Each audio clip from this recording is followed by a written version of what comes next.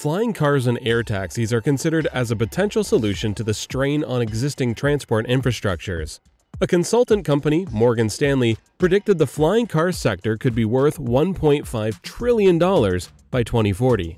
More than 100 electric air taxi designs are already in the works, and some of them have been flying in cities.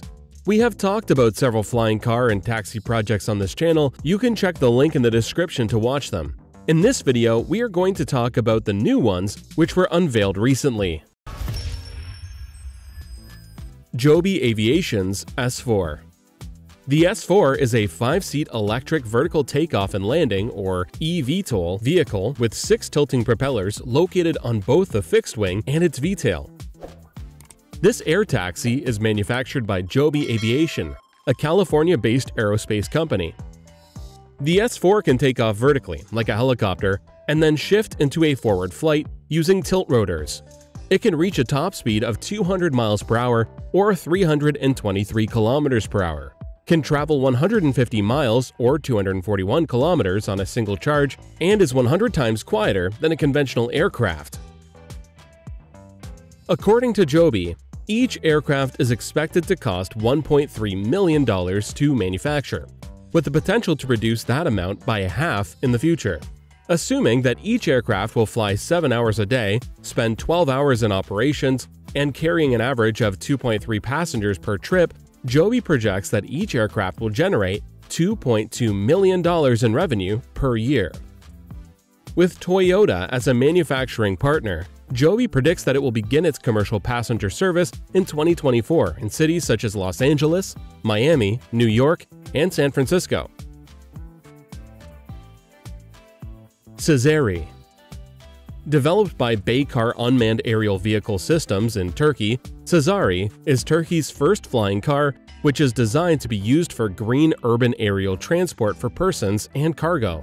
In addition to that, the Cezeri can be used in remote areas for search and rescue and military supply missions. It can also be used for the delivery of time-critical packages and medicines in congested urban cities. Powered by 8 rechargeable electric batteries and propelled by 8 motors, the 230 kg or 510 pounds quadcopter has a maximum cruise speed of 100 km per hour or 62 miles per hour, with 70 to 80 kilometers or 43 to 50 miles range and 1 hour flight time. It has a maximum payload of 100 kilograms or 220 pounds, and it can fly up to an altitude of 2,000 meters or 6,561 feet. The current version of Cezeri can carry one passenger only, but the next versions will have room for more. 7-seater Lilium Jet The 7-seater Lilium Jet is an updated version of Lilium's 5-seater air taxi that can carry 6 passengers and 1 pilot. Since 2015, Lilium has designed, built, and tested four generations of prototypes through an iterative process.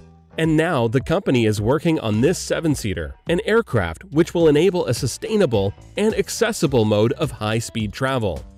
The 7-seater has a cruise speed of 175 miles per hour, or 282 kilometers per hour, and flies at 10,000 feet or 3,048 meters, with a range of 155 miles or 250 kilometers. The aircraft uses Lilium's proprietary ducted electric vectored thrust technology, which is made up of 36 electric ducted turbofan engines integrated into the wing flaps and allows Lilium to lower noise emissions and its ground footprint. The company is planning to use the 7-seater in commercial operations starting in 2024. To meet this goal and to fund its growth, Lilium will list itself on the NASDAQ through a merger with Qell Acquisition Corp, with the goal of raising $830 million for the company. Lilium is planning to have an electric air mobility network of up to 14 sites with about 125 jets operating in the city of Orlando by 2025. Using approximately 190 jets, Lilium will also operate in Germany through agreements with Köln-Bonn Airport and Dusseldorf Airport. The company says ticket prices for clients will be similar to other high-end modes of transport, but costs will go down as passenger volumes increase.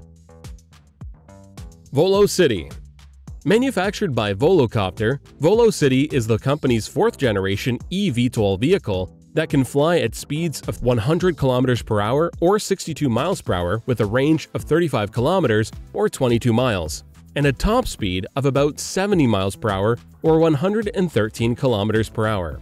The company's first three vehicles were created for testing and demonstration purposes and have flown more than 1,000 times. The 18-rotor air taxi is designed for transporting up to two people, including light luggage like backpacks, briefcases, or purses. Its batteries can be changed out in about 5 minutes, which drastically reduces turnaround times and allows for almost continuous service of the aircraft. For safe takeoffs and landings, Volocopter is planning to build the Voloports throughout urban areas and include international airports as debarking and destination points. Volocopter will not be selling its aircraft to individuals. Instead, it will be running an air taxi service at competitive prices. The company says it's targeting a first public test flight for quarter 4 of this year in Singapore. Apart from Volo City, Volocopter is also developing Volo Connect and Volo Drone.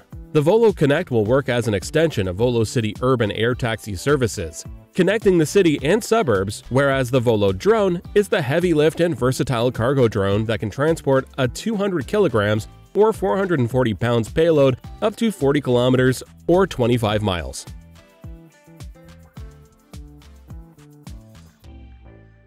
Maker Another company entering the flying taxi market is a Silicon Valley aviation startup called Archer Aviation. The company recently revealed its prototype electric vertical takeoff and landing aircraft called Maker. With a weight of 1,508 kilograms or 3,324 pounds, this gleaming silver airplane helicopter hybrid vehicle will be capable of traveling 60 miles or 97 kilometers at 150 miles per hour or 241 kilometers per hour thanks to its 75 kilowatt hour battery. The current prototype has room for two, but the company says it expects to eventually build a five-seater aircraft to serve as the main vehicle in its eventual commercial operation, which it plans to launch in 2024. Archer plans to go public through a $3.8 billion reverse merger with a special acquisition company, Atlas Crest Investment Corp. The merger is also backed by Stellantis, the parent company of Fiat Chrysler and Peugeot and United Airlines. United has placed a $1 billion order for 200 Archer aircraft, with an option to purchase 100 more for $500 million.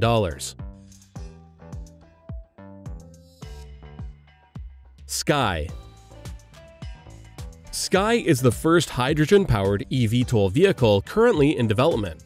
With the use of hydrogen fuel cells, Skai will have enough power for longer flights and carry more weight compared to the competitors using batteries.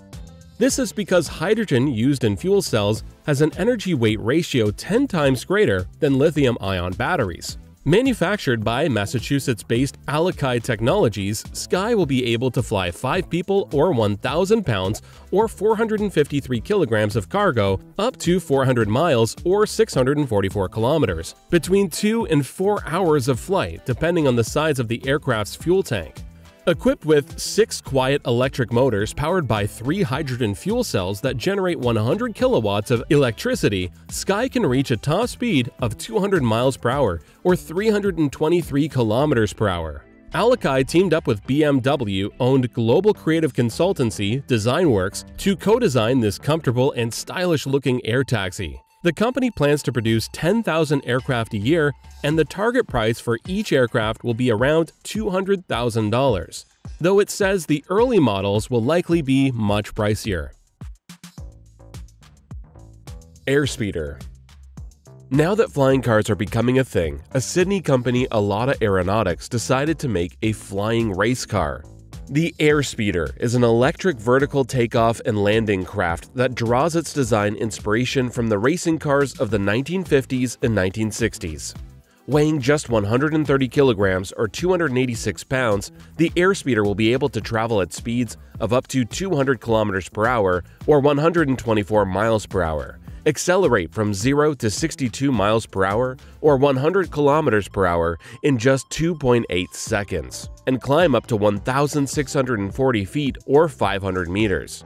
The vehicle has four arms extending from its carbon fiber body, each with a pair of rotors, for a total output of 429 horsepower or 320 kilowatts, comparable to what an Audi SQ7 can produce. Once all approvals and certifications are granted, the airspeeder will accommodate one pilot in the cockpit, much like a Formula One car. The airspeeder took its first unmanned remotely controlled flight in southern Australia. Alauda plans the first unmanned races in 2021 and the manned races in 2022. Klein Vision Air Car Unlike the drone-like flying cars shown in this list, the Klein Vision Air Car looks more like a traditional automobile but with flying capabilities. It has stowaway wings that can fold away to the side, and an elongated tail that retracts into the sports car body. On June 28, 2021, Aircar completed a 35-minute intercity flight test in its home country of Slovakia. The vehicle takes 2 minutes and 15 seconds to transform from a car into aircraft and it can carry two people with a combined weight limit of 200 kilograms or 440 pounds. Powered by a 160 horsepower BMW engine, the Aircar has now completed more than 40 hours of flight tests, including flying at 8,200 feet or 2,500 meters and reaching a maximum cruising speed of 190 km per hour or 118 miles per hour.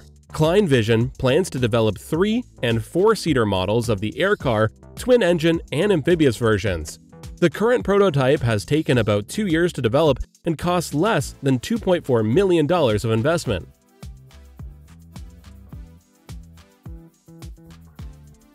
So, what do you think of these vehicles? Which one did you like the most? Please let us know in the comment section below. If you enjoyed the video, please don't forget to like and share it with your friends. Thank you for watching.